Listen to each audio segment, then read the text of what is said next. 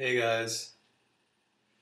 So, the big news today is that uh, the Moscow metro was attacked by two female suicide bombers.